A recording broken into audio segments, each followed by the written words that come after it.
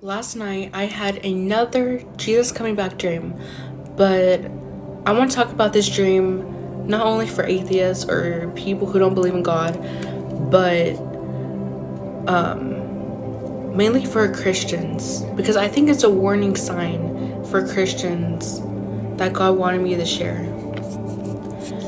But anyways, so let me talk about this dream.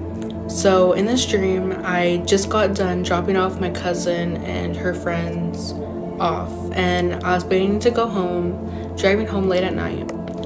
And as soon as I turned the corner, immediately a loud trumpet, like a loud horn, just like went off, like in a straight sound.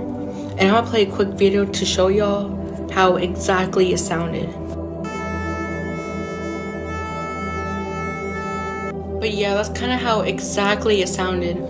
And so immediately as soon as I heard that noise, not gonna lie, I was startled at first because it was so unexpected. Like it, it just like it just happened like I wasn't ready, like nobody was prepared. Um because no one knows when Jesus is coming back, right? So anyways, I got out the car and um, everybody looking at the sky. I was looking at the sky, and immediately it was just dark, right? But this one cloud lit up, and it was just like yellow light, like bright yellow light. And I knew that was Jesus, and I think I was the only one really like rejoicing, and people were scared, right? But immediately, God showed me like a visual picture of like billions and billions of people who are not gonna make it to heaven and I'm gonna show y'all a quick like picture of it, kind of what it looked like. So it was kind of like this, but in my dream, like billions of people, like it was like zooming out to more people, more people, more people. And so basically, those people, like billions of people, will not make it to heaven. And so then God showed me like a visual picture of like the people who will make it to heaven.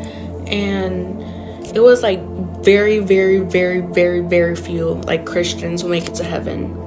And I think I want to talk about this video because it's like a scary because a lot of Christians think that they're going to heaven. A lot of Christians think that they're saved. But no, like God is a he is a justice God. Like God is like kind of strict.